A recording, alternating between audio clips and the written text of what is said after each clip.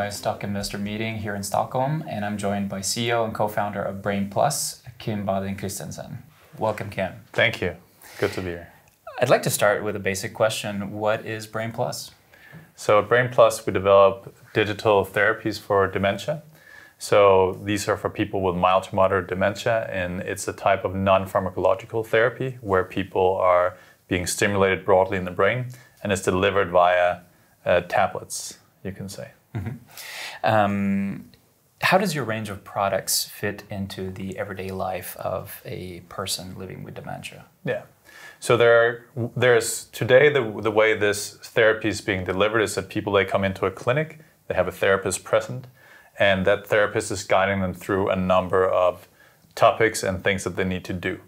And that has very strong clinical evidence that this works for people with mild to moderate dementia. So our first product will actually just support the therapist in doing that more easily, higher quality, more consistently, and not use, not spending time to prepare for that.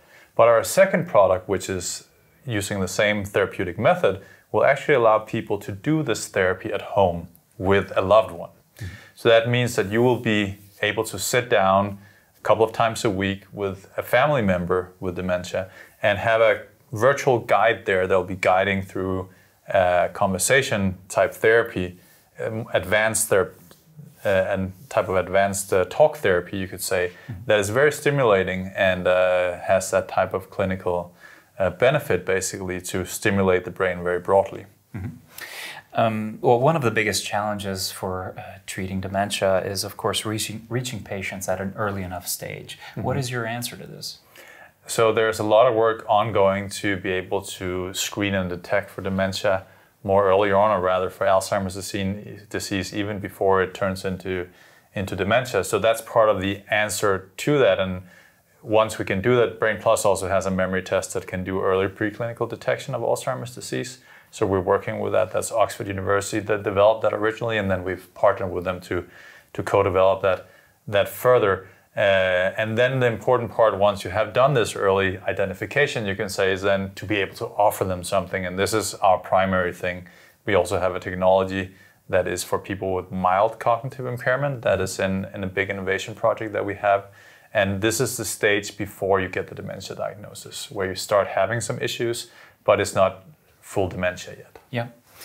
Um, do you see digital therapeutics overtaking pharmaceuticals over time uh, for treating dementia and Alzheimer's disease?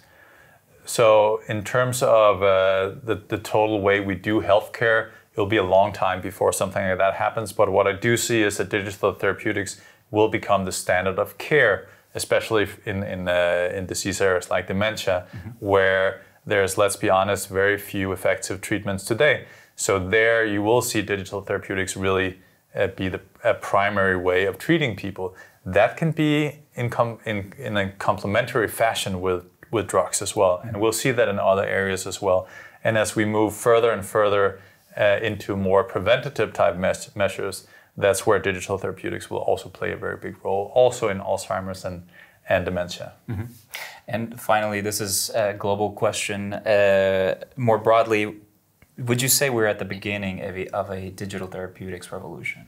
Yeah, we are we're at the beginning looking at the larger time scale. It's already been been ongoing for, for a while now and it's going really fast with, with this both in terms of more and more countries having speci- specialized reimbursement pathways for this. Mm-hmm. We're both seeing that in in uh, in Germany, in Belgium, France will be coming online and in the US, we're also seeing very large scale coverage of digital therapeutics for in several disease areas. So yeah, it's really coming and it's coming fast.